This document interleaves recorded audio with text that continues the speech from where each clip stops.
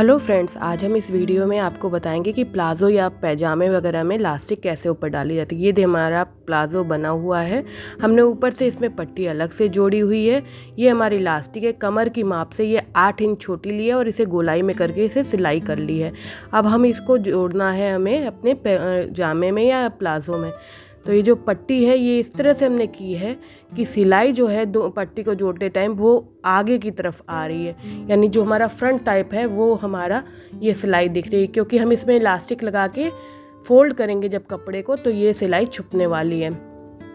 तो इस इलास्टिक को इस तरह से इस पर रखेंगे और फिर ये जो कपड़ा है, ये इलास्टिक को इस तरह से, पूरी तरह से ढक लेगा। एक बार डबल फोल्ड किया अपने कपड़े को और इस तरह से इलास्टिक को ढक लिया। इलास्टिक से थोड़ा आगे हमने ये कपड़ा रखा है, जिससे कि जब हम यहाँ सिलाई करें तो इलास्टिक पे सिलाई ना आए।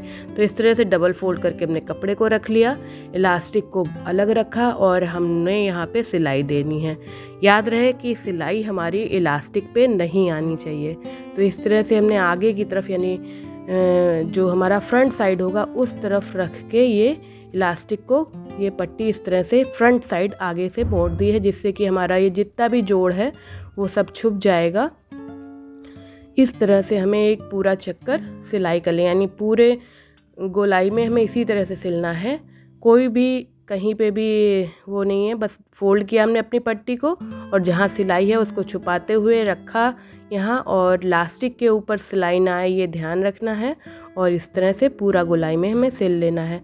ये इलास्टिक जो है वो हमारे मेन पैजामे से गोलाई में छोटी होती है तो जब हमें इलास्टिक ख़त्म होने लगेगी तो हम इस तरह से खींच लेंगे। देखिए यहाँ इस तरह से लास्टिक में तो सिलाई है नहीं तो इस तरह से हम खींच लेंगे जिससे इलास्टिक फिर से हमारी आगे बढ़ जाएगी और हम उसको सिलाई में इस तरह से करेंगे। इस तरह करने से होता ये है कि हमारा कहीं पे भी ये मुड़ती नहीं तो इस तरह से पूरे में सिल दिया, अब इस तरह से खींचेंगे जिससे कपड़ा पूरी तरह इक्वली डिस्ट्रीब्यूट हो जाएगा और उसके बाद हम इस कपड़े को फिर से किसी भी जगह से, क्योंकि इसमें देखिए बीच ऊपर से एक दो सिलाई करेंगे तो किसी जगह भी हमने इस कपड़े को इस तरह रखा, सुई को कपड़े में लगाया दबाया यानी और फिर दोनों तरफ़ से खींचा ये देखिए, आगे से भी खींच रहे हैं और पीछे से भी और इस तरह खींचते हुए अब हमें सिलना है।